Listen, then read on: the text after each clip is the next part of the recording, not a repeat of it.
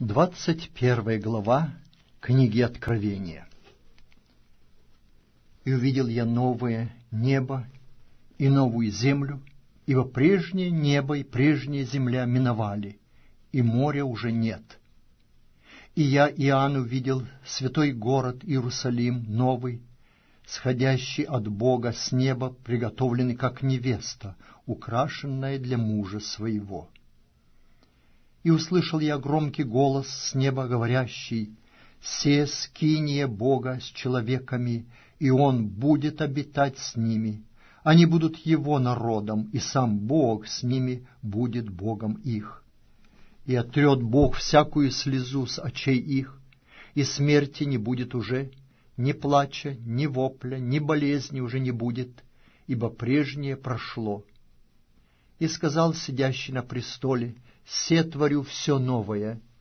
И говорит мне, «Напиши, ибо слова сии истинны и верны».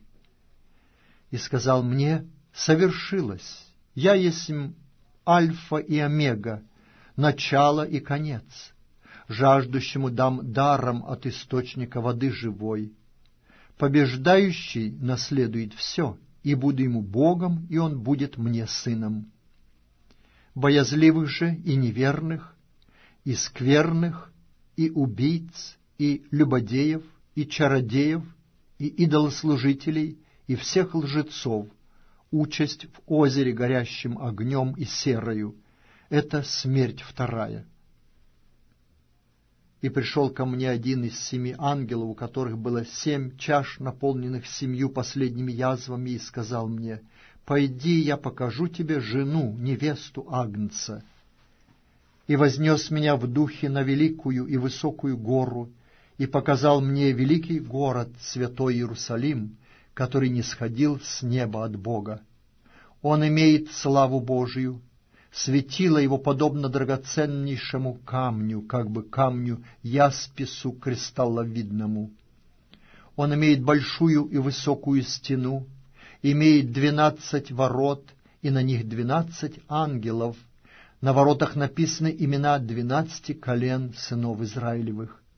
С востока трое ворот, с севера трое ворот, с юга трое ворот, с запада трое ворот. Стена города имеет двенадцать оснований, и на них имена двенадцати апостолов Агнца. Говоривший со мною имел золотую трость для измерения города и ворот его, и стены его. Город расположен четвероугольником, и длина его такая же, как и широта. И измерил он город тростью на двенадцать тысяч стадий. Длина и широта и высота его равны. И стену его измерил во сто сорок четыре локтя, мерою человеческую, какова мера и ангела. Стена его построена из ясписа, а город был чистое золото, подобен чистому стеклу. Основания стены города украшены всякими драгоценными камнями. Основание первое — яспис, второе — сапфир, третье — халкидон, четвертое — смарагд, пятое — сардоникс, шестое — сардолик, седьмое — хризолиф, восьмое — верил, девятое — топаз, десятое — хрисопрас, одиннадцатое — гиацинт, двенадцатое — аметист, а двенадцать ворот — двенадцать жемчужин. Каждые ворота были из одной жемчужины.